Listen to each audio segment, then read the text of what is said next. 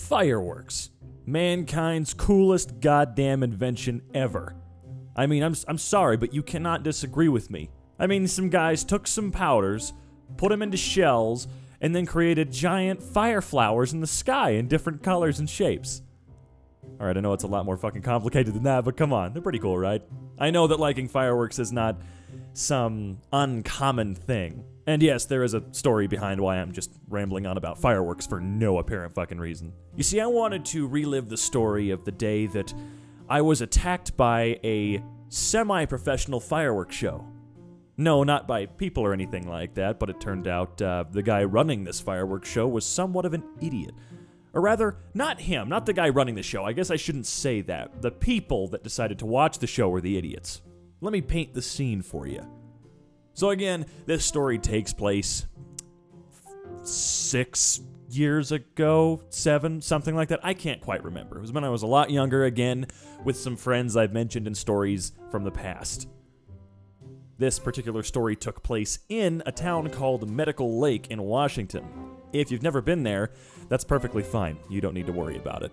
It's just a small town on a lake with a few thousand people and a mental hospital. So yeah, it was. Uh, I don't think it was on Fourth of July. Excuse me. I don't believe it was actually on Fourth of July the evening, but it was close to it.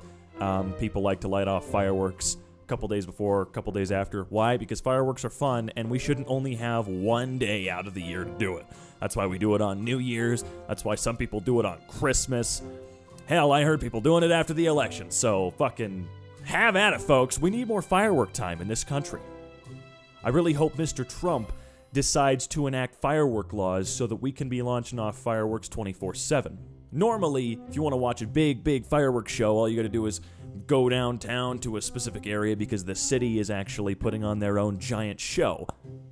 A big, professionally run show that does not involve setting off all of your fireworks like in San Diego a couple years ago. No, no, you see, I am not like regular people. I went to see a fireworks show that was run by just some regular, average dude who spends about $20,000 a year on consumer grade fireworks. You know, like Black Cat, TNT, Phantom, just the regular shit you can buy at fireworks stores in Wyoming and crap like that. He just stocks up throughout the year and plans his own show. It's actually a pretty cool idea. And he'd been doing it year after year for a very long time. Not exactly sure how long, but he was kind of legendary in the town. So, my friend and I and his family, I went with them. We arrive in the town and we go to a parking lot that is in a little shopping area, little mini mall, strip mall kind of a thing. You've seen them, they're everywhere. So there are about 500 people sitting in this parking lot while this dude sets up. And you could see it right there. All of his shit's just laid out on the ground. A buttload of TNT fireworks, Black Cat, all that stupid crap. Ranging from bottle rockets to mortars. Although I don't think he had very many bottle rockets. It's supposed to be a show. there aren't any restraints or any walls or fence lining around this thing whatsoever. It's up on a little stage, like a tiny little stage and people are starting to get ready for the show because it's only a few minutes away. Now, as we all know, people like to get really, really close at any live event they're at, whether it's a performance or otherwise. However, for some strange reason, that carries over to firework displays. It's kind of like people don't like sitting right up front in the movie theater because you have to look up 800 degrees to see the screen and it kind of hurts your neck, you get a headache, that kind of shit. Same thing with fireworks, except you have to look up higher and it's not as comfortable. So, for some strange reason, these people, myself included, all sit down maybe 15 feet away from where all the fireworks are sitting on the ground. The guy starts his show, and maybe four and a half seconds in, a couple of the fireworks misfire, as you would expect to happen in an amateur, prosumer, whatever the fuck you call it show. And everyone freaks the fuck out and backs up an extra 300 feet to where they were supposed to be in the first place. I, I have no idea what compels people to sit that close to explosive entertainment. I thought it was goddamn hilarious. Throughout the rest of the show, I was actually pelted by mortar tubes and whatnot. That part I did not like. But all in all, the show was pretty okay. It was pretty decent for just a random guy that buys fireworks and sets them off in a parking lot.